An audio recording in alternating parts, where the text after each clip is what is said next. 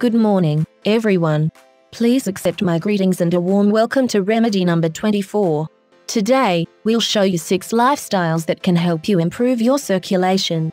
Peripheral artery disease, PAD, can lead to poor circulation in your legs and feet. PAD is a circulatory condition that causes narrowing of the blood vessels and arteries. In an associated condition called atherosclerosis, arteries stiffen due to plaque buildup in the arteries and blood vessels. Both conditions decrease blood flow to your extremities and can result in pain.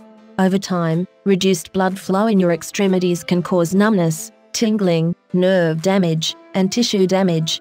Diabetes, obesity, smoking, and Raynaud's disease are some of the many causes of poor circulation. In addition to those with poor circulation, athletes and active individuals may want to increase blood flow to improve exercise performance and recovery. Although circulatory issues are often treated with doctor prescribed medications, eating certain foods can also improve blood flow. While incorporating any of foods into your diet may improve circulation, lifestyle changes may have a larger impact. Here are some other lifestyle modifications that can optimize blood flow. 1. Quit smoking. Smoking is a risk factor for many chronic diseases, such as cancer, and can negatively impact circulation. 2. Increase physical activity. Exercise stimulates blood flow and helps improve vasodilation. Plus, regular exercise decreases your risk of heart disease. 3. Lose weight. Being overweight or obese negatively impacts blood flow and can lead to dangerous complications, such as plaque buildup in your arteries. 4. Follow a healthy diet.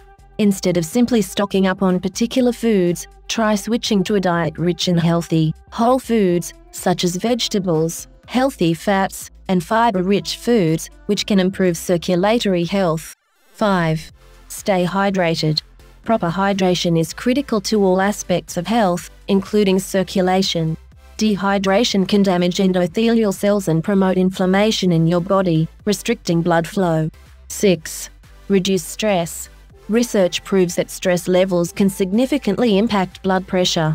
Manage your stress through yoga, meditation, gardening, or spending time in nature. Let us know in the comments section below. Have you enjoyed this video?